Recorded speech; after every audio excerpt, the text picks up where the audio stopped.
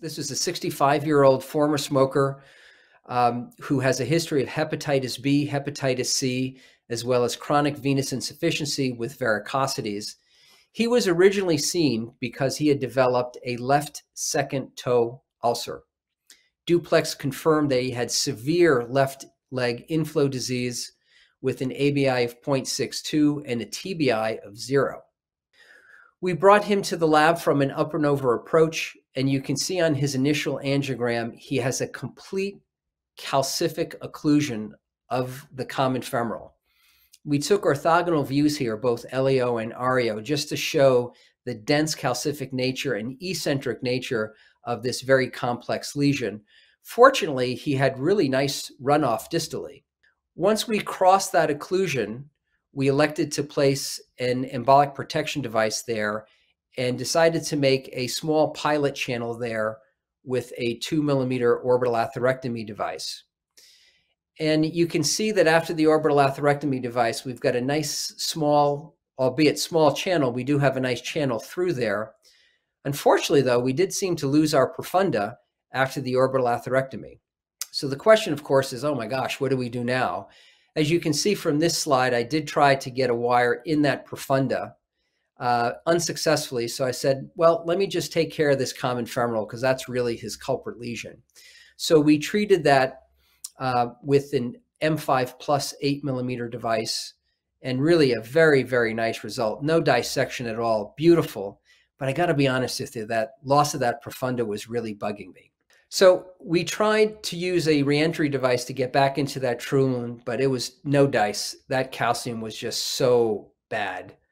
So uh, we took a page from our CLI playbook and we said, well, gee, if we do retrograde pedal access, why not try a retrograde profunda access? And so we did it in the same way with an 018 wire and an 018 support catheter. So we were able to traverse that profunda occlusion retrograde. That wire was then snared in the common femoral, and then we simply exteriorized that wire, redirected it down the deep femoral branch of the profunda, pre-dilated with a four millimeter balloon. And we then decided to try to figure out just how big is this SFA ostium. And so we went to um, our intravascular ultrasound and we saw that it was actually a seven millimeter diameter, much larger than we would have anticipated on angiography. And so we said, well, if it's seven millimeters, let's go ahead and use the rest of those 150 pulses in our 8 by 60 balloon.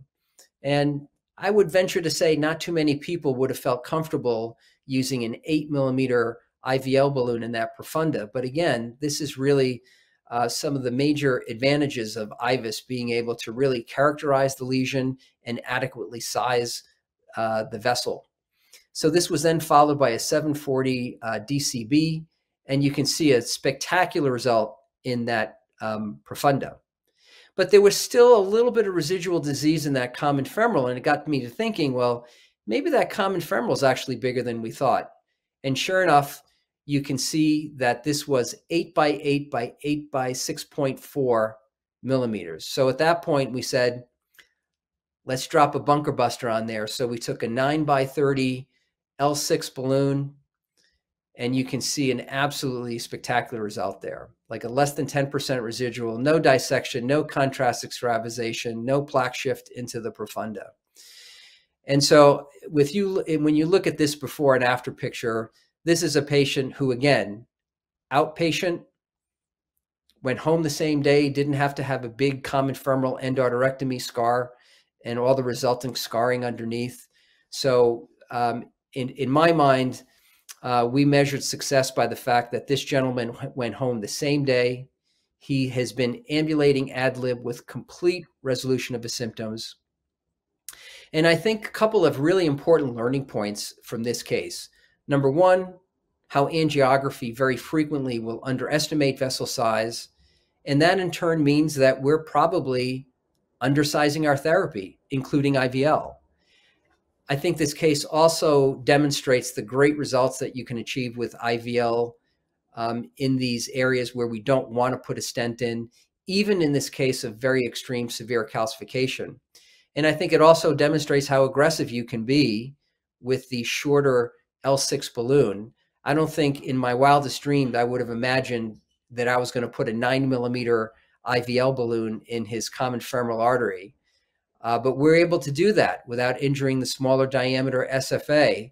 And as my fellows like to hear me say all the time, when it comes to IVL, go big or go home, baby.